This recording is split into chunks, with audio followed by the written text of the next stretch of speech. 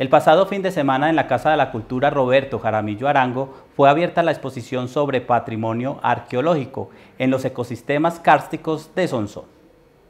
En esta exposición se encuentran los elementos hallados durante las excavaciones realizadas en las cuevas y cavernas de los corregimientos, La Danta, San Miguel y Jerusalén. Que dan cuenta de cómo eran las formas de vida de las comunidades indígenas que habitaron la región desde hace más de 2000 años hasta la llegada de los conquistadores españoles. Esta exposición va a estar en la Casa de la Cultura Roberto Jaramillo Arango, en la sala de exposiciones del maestro Rómulo Carvajal,